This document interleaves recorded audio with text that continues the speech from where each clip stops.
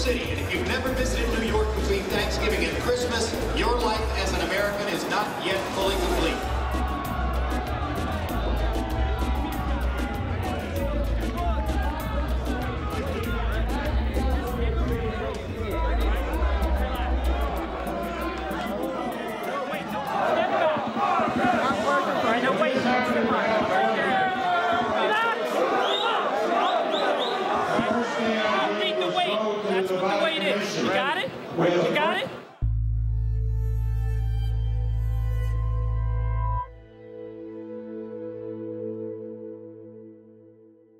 I'm a determined fighter. I got a heart and I got balls to fight. You know, I love this sport. I don't feel bad for my opponents in the ring. I don't give a about them in the ring. They're my enemies. I, I want to try to hurt them. I want to try to do anything I can to get them out. If I say I'm going to knock you out, I'm not going to go in there and hug you and kiss you and hold you and just play with you. I'm going to knock you out.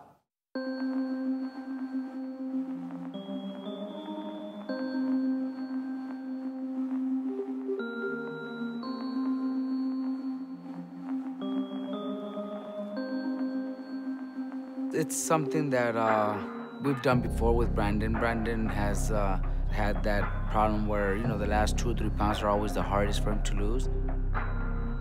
The only thing I ate was that Sunday on the plane over there to the uh, to New York. The whole time when I got to New York, I was just sweating and sweating right away. Even that Sunday night, I think Sunday night or that next Monday morning, I went running already.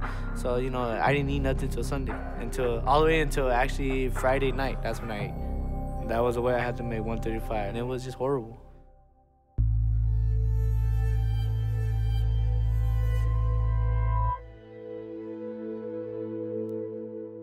Uh, yeah, right, right, So, right. you know- Is, are you, are you are you 140 pound or 135 I'm gonna be 140 pounder. Uh, I think after this fight, I'm going up to 140. Because you look like 140 pounder right now to me trying to make 135 pounds. Now I'm gonna be 140 after this fight. My body's just getting bigger and I'm growing. Plus I'm doing a new uh, workout with strength and conditioning and my muscles and Just I'm just building up and everything. So I think it's just gonna be 140 after this. Robert, is he, I mean, you know, no, is he working hard for this fight as he did for, let's say, the Peterson fight? Or is he just growing out of the division or, you know? No, you know, he's, he's, he's worked as hard or even harder. You know, we, we were in training camp with Margarito and, you know, everybody knows Margarito's a beast in the gym. Cutting weight and everything, are you, are you ready to go 12? I'm ready to go 15. I'm ready to go 20. I'm, I, come on, man. I'm, I, my tremendous, I'm in the best shape of my life right now. The weight is not gonna affect me. The next day, I'm gonna feel like an ox. You're talking to a guy who's right now not feeling his best. Not feeling his Not best? right now. I mean, he's making weight, so. Right. Right, right, Emmanuel? I mean, come on, And- and come guys, on. say things. Well, Don't be worry, real. he's fine. I, we, we've been around it for many years. He's We're gonna do what's best Nah, for he's not the only one. Everybody goes through this. You know, we we this morning we see this opponent running in an hour too. Cause I'm pretty sure he's got three or four yeah. pounds. That's the problem with doing these things before the Every- weigh-in. He's not does. feeling like, he's not feeling like doing it again. Yeah, you doing, guys? You do, right? Yeah, but When I went to talk to Max, I think he said something like, "This is the worst I ever seen you. You very skinny or something like that. I don't remember." he said something about Brandon being a 140 pounder and not a lightweight, and I agree with him. You know, I think Brandon is is too big for 135. That's not like. He is huge. He is huge. How are they getting him into a 35 pound package? By the way, this it's uh, should win a fight. Huh? Should win a fight. Oh, yeah. We should But pack up here. He's with a guy who likes to mix it up.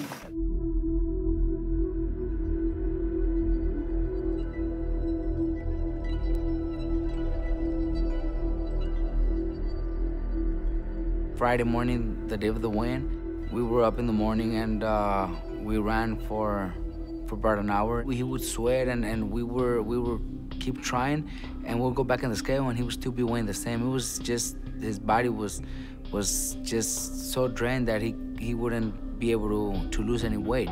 This time it was just impossible. You made it, Brandon? Go, Bam Bam.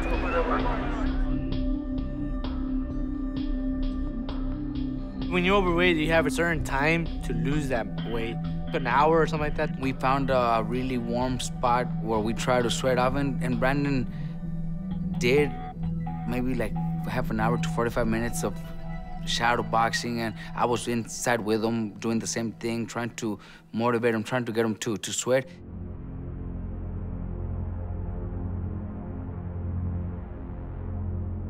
I don't know why my body wasn't cooperating with me. It was just not following what I usually do. It just, I don't know what it was.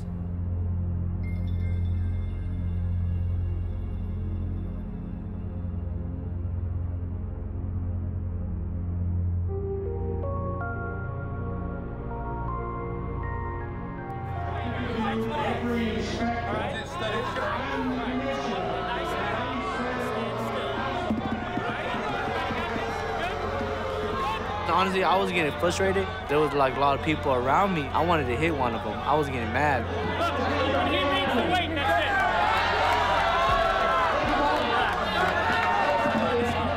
If you can lose that six ounces, if it's your underwears, fuck, take your underwears off. It does make a difference.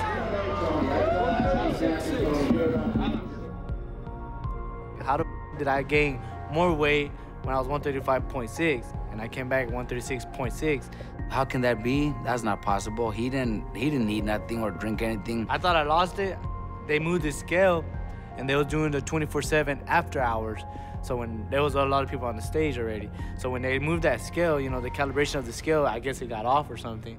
And I was in the back sweating and everything, and they told me, wait, a minute, we're gonna fix the scale, this and that. I'm, I already drank the water and everything. I'm done. I, already, I just don't have it in me no more.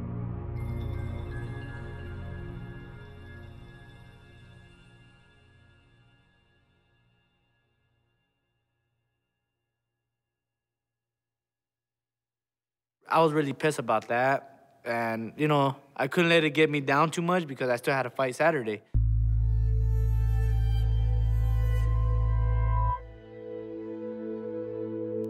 I got to pay a fine. Plus, they wanted me to weigh in in the morning at 9 o'clock. I couldn't be more than 147. Normally, fighters gain eight, no more than 10, and that's normal for a fighter that loses a lot of weight before the weigh-in.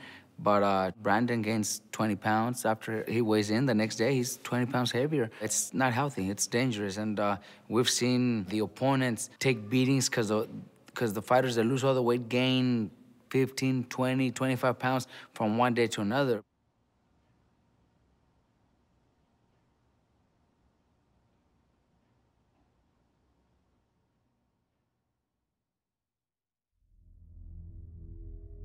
I don't get nervous. Well, I do. Everybody get nervous. They say they don't, but they do. In the locker room, I distract myself. I play around. I horse around. I horseplay. I everybody in the locker room, my corners, the commissioners, everybody, because I'm t- I don't want to think about the fight. The only time I think about the fight is when I walk into the ring. That's when I, I start feeling the butterflies and everything.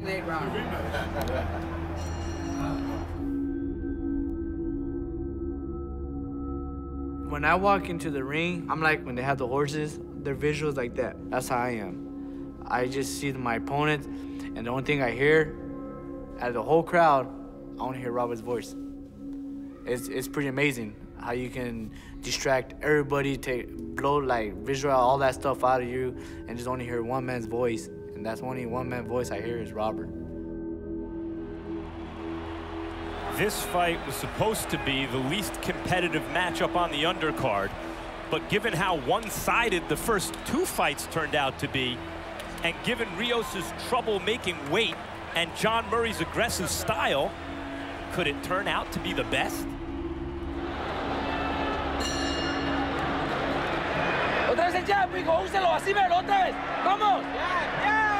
Now Rios begins to get going early, and I wondered if his gas tank would continue to top up the way it has so far, and lo and behold, heck of a fight. I think we're looking at beginning signs that he might be running out of gas. Definitely slowed down. Those punches don't appear to have anywhere near the zip that the punches he landed the first No, couple he- rounds did. He's punching and moving in, but it's not with the intensity or the speed or the power that he had. I felt good during the fight, but you know, you could tell that it wasn't myself 100%. Logic tells you that if the weight loss robbed him of anything, punching power would be on the list. My legs wasn't there 100%. Within the sixth, I think seventh, eighth round, I had him like I felt I had him stunned after the round. So I, I was telling Robert too, you know, I got him, I got him. That round is mine. I got him, I got him. This has happened to every Brandon Rios opponent as the fight wears on. It's amazing that a guy could come into the fight in the condition Brandon Rios did, like a zombie, with that cutting that weight, and, and the other guy is the guy getting oh, broke. Murray's starting to take more and more punishment. If, it's if that's imaginable at this point. Took a beating. His, eye, his both his eyes was closing, and they still let the fight continue. Blood was coming out so much that a little bit was getting in my mouth, and I was like, ah, you know, it was just nasty. So you know, I just got to keep deal with it and try to knock him out and get him out of there. But it was it was pretty jacked up, pretty bad. I was just a little bit concerned into into the late rounds. What if his legs give up on him? But when I seen that ninth round and, and his legs are not giving up on him, on know. that's when I told him, let's go finish this guy up. You know, go knock this guy out. Let's win by by knockout.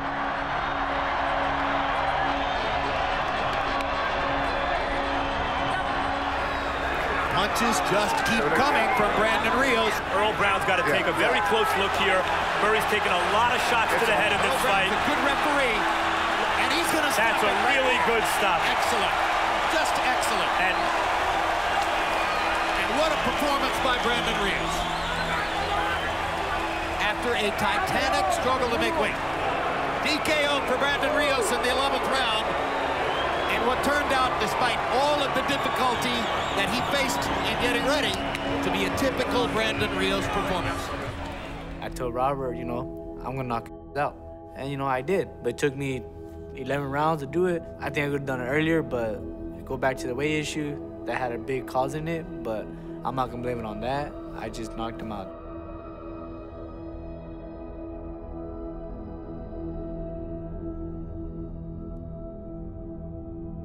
After the fight, I was mad, depressed. I was like, I lost my, I lost my title on the scale. Nobody defeat me. Nobody kicked my to take that title. I worked so hard to get it, and I lost it.